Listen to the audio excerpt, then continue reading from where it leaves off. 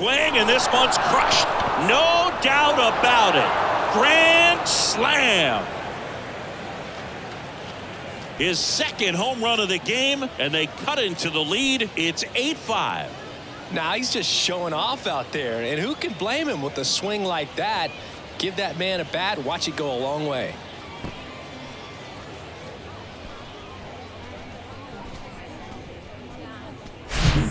Great job here of staying within himself. You know that if you get a knock, you're going to drive in a couple. So stay focused on that. Well, he does more than just a knock.